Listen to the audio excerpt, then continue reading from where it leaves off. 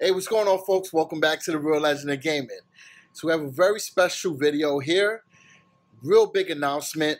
First and foremost, thanks for everyone to get me to 300 subs. The support is so much appreciated. And the next announcement we'll show you right now. We got a special gift from my boo. She got me the Nintendo Switch with The Legend of Zelda and the Mario Kart 8. So we will be officially covering Nintendo Switch on the channel. That's right, DaRealLegend of Gaming is now covering Nintendo. And we got The Legend of Zelda here. And we got that Mario Kart. We'll give you a little unboxing. I know the system's been out for a few months, but this is real big for me. I mean, it's real exciting to be able to introduce new content, and I've been wanting this system for a hot minute. So let's check it out. All right, so we're gonna open up this Nintendo Switch Neon Edition. Let's see what's inside this box. Real easy to open. It's always a plus. So right in there, you can see the Joy-Con controllers. It's got the left side and the right-hand side. This neon is real sick. Definitely like that. Let's take it out the packaging. Give you a nice up close. Analog stick there, the buttons, and we have one on this side as well. It's pretty slick. So side here, this is the actual screen. You put the Joy-Cons on the side and it's really not that bad.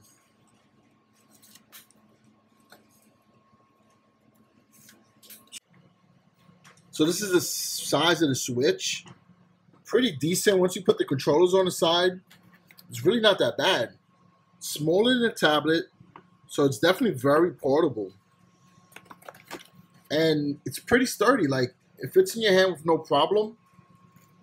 So I don't really see it being a case where you could drop it. it has a very nice grip. But um, some people have been recommending to get a tempered glass and also maybe a screen protector. So that's going to be next on the list to cop. It's pretty nice. Definitely like it. Very light. I'm feeling it. This is the Joy-Con support. Real nice.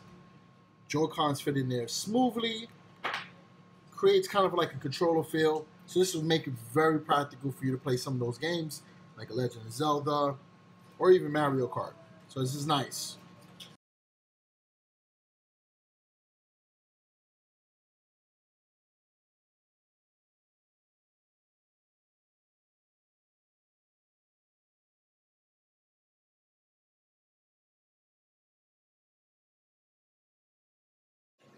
Alright, so after you plug in your HDMI adapter to the television and plug in your AC adapter, you have to plug the Joy-Cons to the Switch and it'll prompt you to set everything up.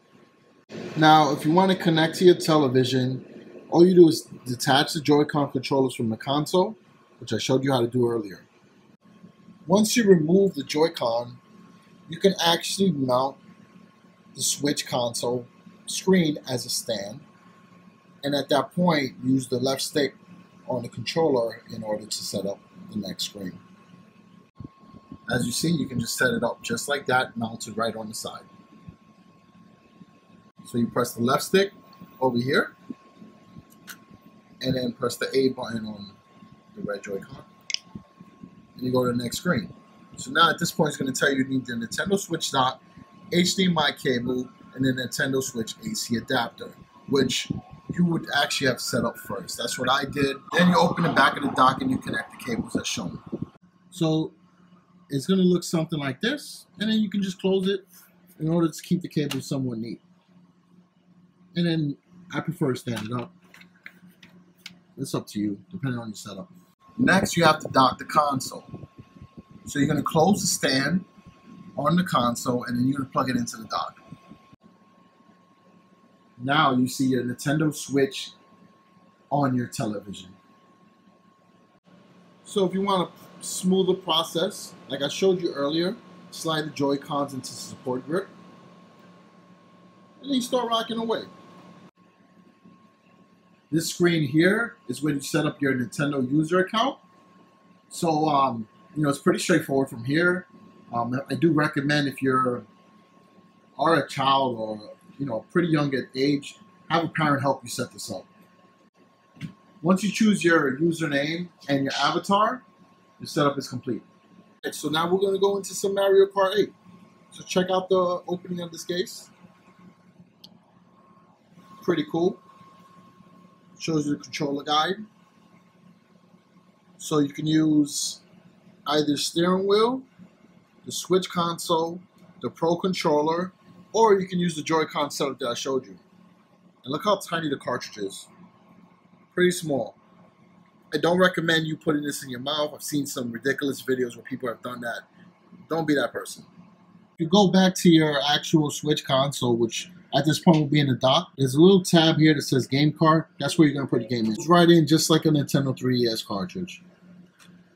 And you close it. And now you see it on the screen. There you have it, folks. Mario Kart 8. So be sure to see some streams and some videos coming soon. Thanks for watching. Peace out. As you see, I am super excited for this Nintendo Switch, and we're going to have fun. We're going to be live streaming Zelda. We're going to live stream Mario Kart. And if there's a way for me to create content and keep you guys updated, we'll do that as well. So again, thanks for the support. We hit that 300 together. We're going to continue growing. Be sure to check me out on Twitter as well so we keep conversations going.